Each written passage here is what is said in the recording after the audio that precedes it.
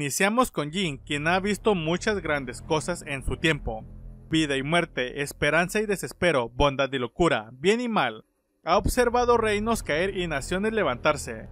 Muy a menudo la humanidad desea hacer lo correcto, pero parece que nunca alcanzarán su verdadero potencial. Son incapaces de trascender a sus instintos animales más básicos. En las afueras de la estación de policías, el comisionado Gordon está siendo interrogado por la prensa, cuando de repente recibe un disparo en la cara.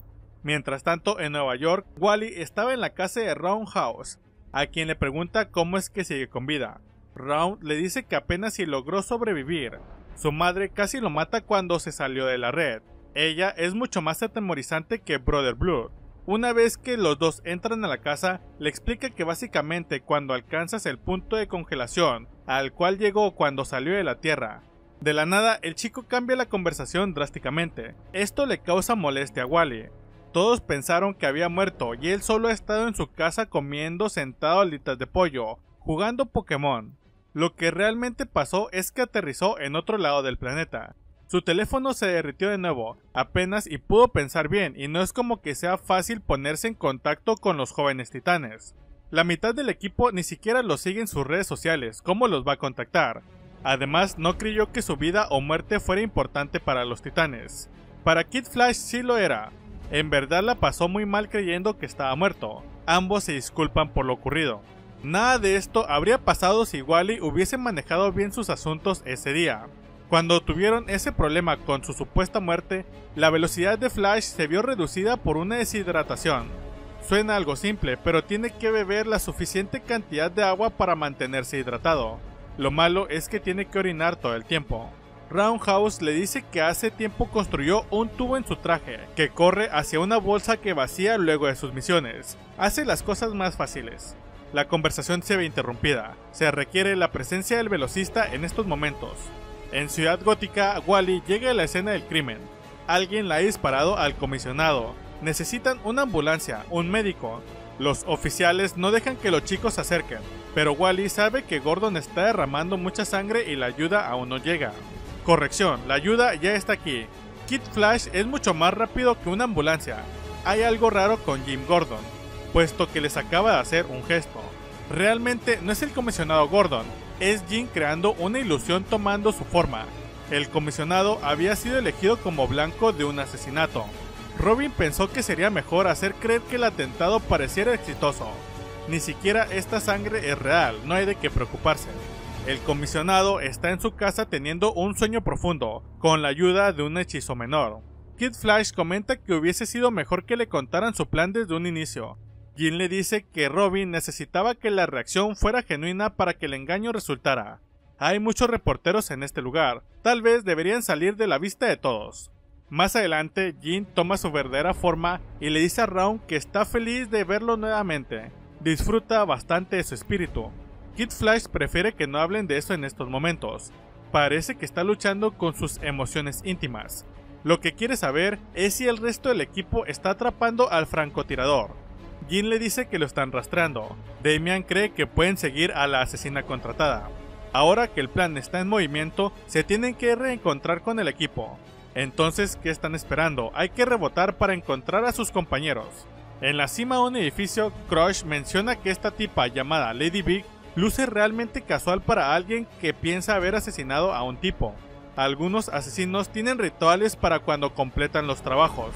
Por ejemplo, la madre de Miko estaría en un salón de belleza, aunque probablemente está esperando al que la contrató para dispararle al comisionado. Robin no cree que ese sea el caso. Hay muchas personas en este lugar. Es probable que se vean en una ubicación secundaria. Wally y los demás han llegado al edificio. Damian les dice que tienen los ojos en el objetivo. Cree que su misión está completa. Robin felicita a Jean. A pesar de que Gordon tiene una presencia más dura de la que ella interpretó, hizo un buen trabajo. Jean intentará ser más cuidadosa cuando interprete a otras personas. Las felicitaciones la hacen feliz y le da las gracias. Esto es algo que le da mucho asco a Crush. Wally sabe que hay algo raro aquí. ¿Cómo es que Batman no sabe sobre esto? Damian le dice que su padre está atorado literalmente en el Salón de la Justicia, con un yeso de cuerpo entero. Si ese es el caso, hay algo que Wally les quiere decir antes de entrar en acción. Roundhouse sigue con vida. Esto causa felicidad en los jóvenes titanes, pero Damien les pide guardar silencio. Si hay mucho ruido los pueden descubrir. A todo esto, ¿cómo es que sigue con vida? Wally les dice que es toda una larga historia, pero básicamente aterrizó en el océano y su teléfono se derritió. Luego su mamá lo castigó. ¿Castigos? ¿Cómo es que lo pueden castigar? ¿Qué acaso estos son los niños titanes? Pues la verdad es que sus padres son algo estrictos. Esto no pasa en todo el equipo, supongo que sus padres son los únicos que se preocupan por un integrante de los titanes. A Crush la abandonaron y uno de ellos es buscado por crímenes intergalácticos. Jean nunca tuvo padres, ella fue hecha de arena del desierto y el sacrificio de sangre de mil cabras. El padre de Wally está muerto, todos sabemos lo que pasa con Damian, y uno de los padres de Miko trató de matarla. Bueno, realmente ambos lo hicieron, Roundhouse pide disculpas, apenas si se conocen y no creyó que fuera del agrado del equipo, pensó que nadie estaría preocupado por él. Damien le entregará un comunicador. La próxima vez que se pierda y no sepa cómo encontrarlos, tiene que llamarlos a través de este artefacto. Sin duda alguna, este es el mejor día de su vida, es oficialmente un joven titán. Luego de causar un gran alboroto, Emiko les pide que se escondan. Lady Vic no tardará en darse cuenta. Parece que ya los vio y está tratando de escapar.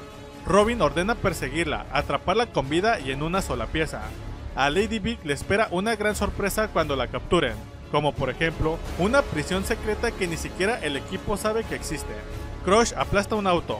Esta sutileza es su especialidad, y eso que aún no han visto nada. Ahora toma el auto y lo lanza contra Lady Vic.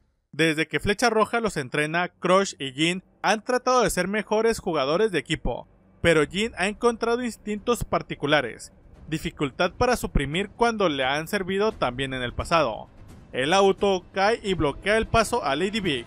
Emiko se pone enfrente de ella y le quita su pistola con una patada. La villana no entiende quiénes son. Puede que tengan algunas habilidades, pero no son exactamente Superman.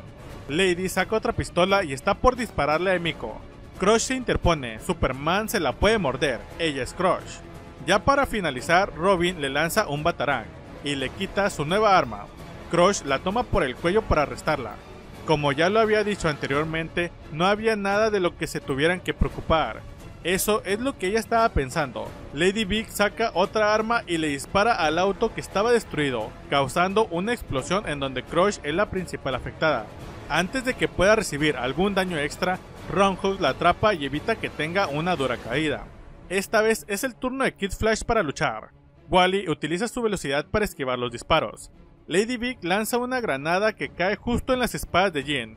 Robin se da cuenta de ello y cubre la granada con su cuerpo para que Jean no salga lastimada. Por alguna razón, la granada no explotó. Jean siente una conexión con Robin, una que nunca antes había sentido con alguien. Ahora le da las gracias por su protección, aprecia mucho la preocupación que le tiene, pero esa bomba no va a explotar, no mientras que ella pueda seguir utilizando sus poderes. Emiko le pregunta a Robin qué fue eso.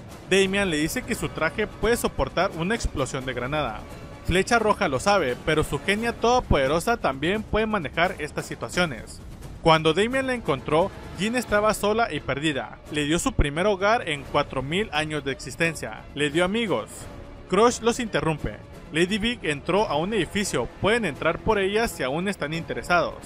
Entonces esto pasará, Robin da las órdenes.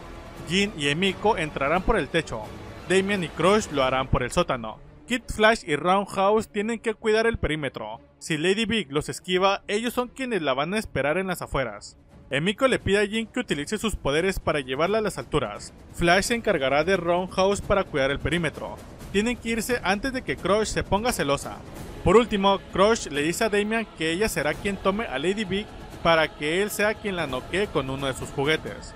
Robin lamenta decirle que ella no toma las decisiones, no funciona de este modo. Su golpe del carro casi lastima a mucha gente, casi provoca que Jean saliera lastimada. Las cosas no resultaron peor porque el resto del equipo limpió su desastre. No le importa cuán fuerte sea, se tiene que cubrir como una jugadora de equipo, y si no le parece puede encontrar uno nuevo. En las alturas, Jin le dice a Miko que es sensible a los chakras. Siente que está molesta con ella. Esto es porque Damian es el líder del equipo, y cuando ella está a su lado no está concentrado. Desde la última vez que Robin utilizó su anillo, ha estado tomando decisiones estúpidas en el campo, especialmente cuando se trata de ella. No está segura de lo que le hizo, probablemente puso algún hechizo o algo. Lo que sí sabe es que si sigue con esto, estará parada sobre una pila de cadáveres con solo ella para culpar, y a este punto Robin será el primero en morir. Damien se comunica con el equipo, tienen a Lady Big en la mira, piso 14, necesitan refuerzos. Jean ha hecho cosas terribles en su pasado bajo las órdenes de otros. Realmente creyó en Robin cuando le ofreció entrar al equipo, pero ¿qué hay si ella es alguien terrible? Confiesa que le preocupa que Flecha Roja pueda tener algo de razón sobre ella. Vivió bajo la regla de su anillo, su prisión, por tanto tiempo que apenas y sabe quién es fuera de eso, de lo que es capaz. Todos están reunidos. Crush les dice que la tienen acorralada dentro de este cuarto. Kid Flash ya revisó el edificio y sabe que no pudo haber escapado. Roundhouse ha visto mucho anime sin parar y aprendió algo de ello. Los chicos malos son más peligrosos cuando crees que están acorralados. Emiko le da la razón. Proceder con cautela es algo que tienen que hacer, y tiene que agregar que no puede creer que esté de acuerdo con el chico. Robin de una patada abre la puerta para entrar por Lady Big. Lo que los titanes ven es algo que los asombra.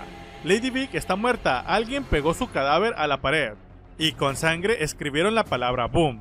Parece que llegaron tarde, estas marcas de garras son el símbolo del otro. Lo que Roundhouse se pregunta es, ¿qué significa la palabra Boom? ¿Qué es lo que quiere decir? Pues eso exactamente es lo que significa Boom. De repente el edificio estalla junto con los jóvenes titanes en el interior.